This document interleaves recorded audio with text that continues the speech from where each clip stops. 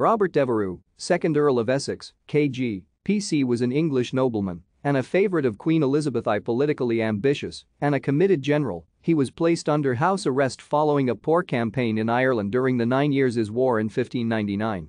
In 1601, he led an abortive coup d'etat against the government of Elizabeth I and was executed for treason. Devereux was born on 10 November 1565 at Netherwood near Bromyard, in Herefordshire, the son of Walter Devereux, 1st Earl of Essex, and Lettice Knollys. His maternal great-grandmother Mary Boleyn was a sister of Anne Boleyn, the mother of Queen Elizabeth I, making him a first cousin twice removed of the Queen. He was brought up on his father's estates at Chartley Castle, Staffordshire, and at Lamphey, Pembrokeshire, in Wales. His father died in 1576, and the new Earl of Essex became a ward of Lord Burghley. In 1577, he was admitted as a fellow commoner at Trinity College, Cambridge. In 1579, he matriculated, and in 1581 he graduated as a Master of Arts.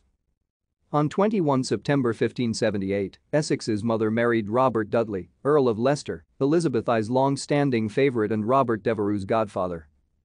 Essex performed military service under his stepfather in the Netherlands before making an impact at court and winning the Queen's favor. Thank you for watching. Like and subscribe if you would like to view more of our videos. Have a nice day.